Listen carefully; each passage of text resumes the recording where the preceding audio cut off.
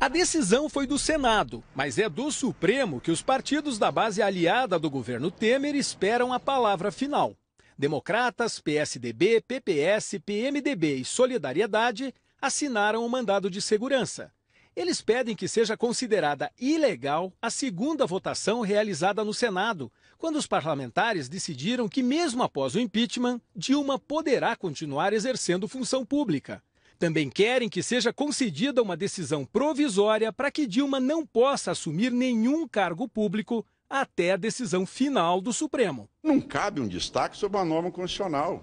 E não cabe um destaque sobre um quesito. O quesito, ele é único.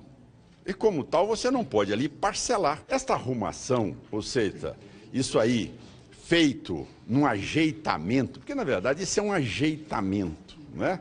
Grosseiro, o PMDB mudou várias vezes de opinião sobre apoiar ou não o recurso no Supremo. Depois de idas e vindas, acabou assinando o documento. Em viagem com o presidente Michel Temer à China, o presidente do Senado, Renan Calheiros, que é do PMDB, negou que existam divisões na base aliada. Pelo contrário, isso é uma questão episódica, pontual, que já passou. Nós temos que olhar para frente e construir uma agenda nacional. Temer disse que não cabe a ele questionar as decisões dos senadores. Se o Senado tomou essa decisão, certa, errada, não importa, o Senado tomou a decisão. E parece que ela está sendo questionada agora é, juridicamente. Né? Então ela sai agora do plano exclusivamente político para o quadro de uma avaliação de natureza jurídica.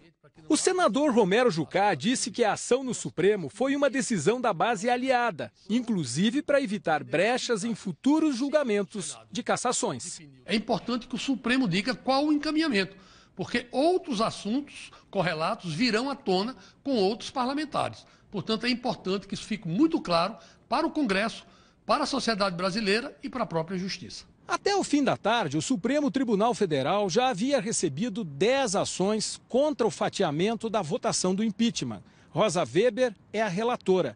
Os ministros do Supremo vão ter que decidir. Na lei antiga havia realmente uma aquisitação separada pela Constituição atual, a aquisitação é única. Mas isso vai ser objeto de julgamento e aí pode-se entender, em primeiro lugar, que foi uma vontade do parlamento aquela decisão, ou então que houve realmente uma violação constitucional. Numa entrevista à imprensa internacional, ao lado da ex-presidente Dilma Rousseff, o advogado José Eduardo Cardoso disse que não acredita que o STF anule apenas uma das votações. Na medida em que houve a garantia de que haveria um destaque o senador pode ter dito, bom, eu vou votar pela absolvição, não vou votar mais pela absolvição da primeira, mas vou votar pela suspensão da segunda. Então não é possível cindir essas votações quando elas são em sequência e podem implicar em valoração distinta, uh, obviamente, pela existência das duas. A advogada Janaína Pascoal, uma das autoras do pedido de impeachment, alertou mais cedo numa rede social que os recursos podem provocar a suspensão de todo o julgamento do Senado, que teria que ser refeito. Nesse caso, ela lembra que depois de 180 dias de afastamento, Dilma pode voltar ao cargo, prazo que venceria em novembro. Consigo compreender como os partidos que apoiaram o impeachment e os movimentos que também apoiaram o impeachment vão agora questionar uma decisão do Senado que é o juízo soberano para se manifestar sobre os crimes de responsabilidade, tanto no que concerne aos crimes como no que concerne à pena.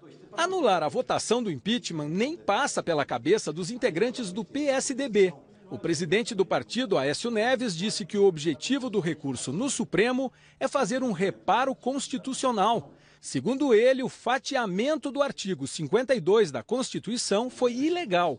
E apenas isso precisa ser corrigido. Eu acho que o que vai ocorrer efetivamente é a possibilidade de Supremo normatizar essa questão uh, daqui por diante. Né? Se o Supremo vai entrar na questão do mérito, eu tenho dúvidas, até porque ele tem afirmado de forma reiterada ao longo do processo, eh, através de vários dos seus ministros, que quem decide a questão do mérito é o Senado da República.